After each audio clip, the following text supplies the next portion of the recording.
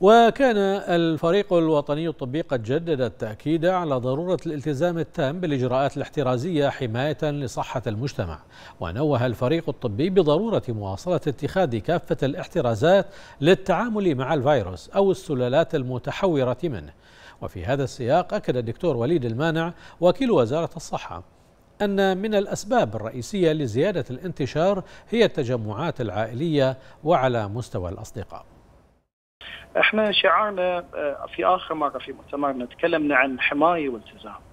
وأعتقد لو ببتدي بالالتزام فإحنا نجدد الدعوة ضروره الالتزام وعدم الاستهتار لمنع ارتفاع عدد الحالات القائمة.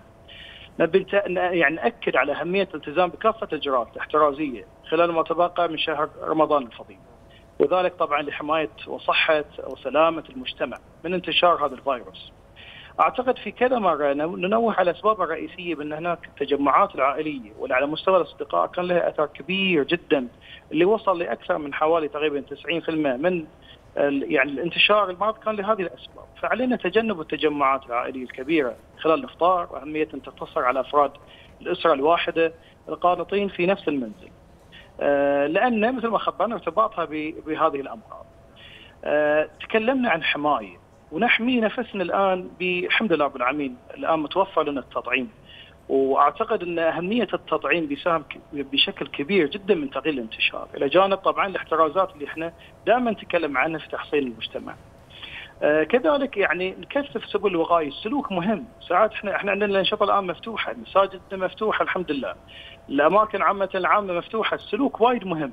في قضية يعني ان إحنا نتبع كافة الاشتراطات الصحية والتعليمات الضرورية مثل لبس الكمامات، تطبيق معايير التباعد الاجتماعي، تعقيم اليدين وغسلها، وعدم الخروج من المنزل إلا الضرورة، والاستعاضة عن ذلك بمختلف التطبيقات الإلكترونية التي يعني أتيحت أو أتاحت فرص كثير لإنجاز متطلبات الحياة من خلال برامج التواصل عن طريق طبعا الإنترنت. أنا ختاما بأن يعني ترى التصدي لفيروس كورونا يتطلب التزاما حقيقيا في مواصله هذا الحرص والتعاون وتعزيز المسؤوليه المجتمعيه المشتركة بين كافة أفراد المجتمع البحريني إن شاء الله في سبيل العودة للحياة الطبيعية.